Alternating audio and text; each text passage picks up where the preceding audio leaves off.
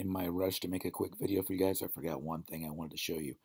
And this is because we're doing a documentary. We want to try and use some um, something that in iMovie they call Ken Burns effect. Um, they don't call it that in WeVideo. So I just grabbed a, a picture image and to double click on it. And now when I go up here, you can give it a title if you want. I generally don't. I didn't do that. That's up to you. Um, you need to see how it visually looks.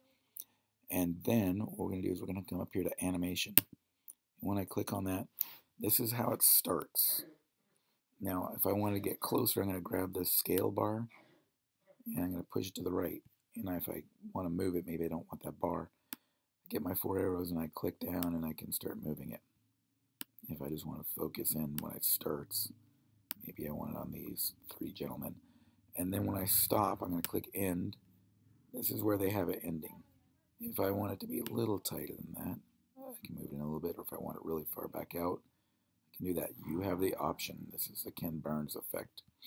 And then I hit done editing, and then you will see when I click video what it looks like as it moves out.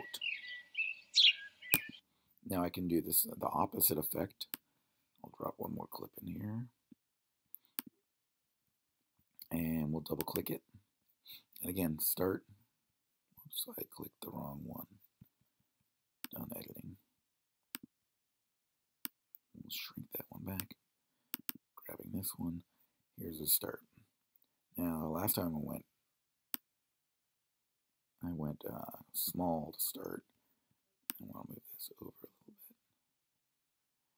Um, so rather than do that, I'm going to start wide. And go end, end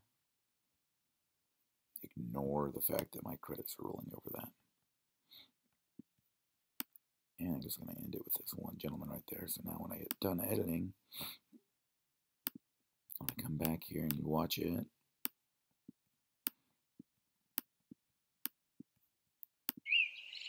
you see it pulls in.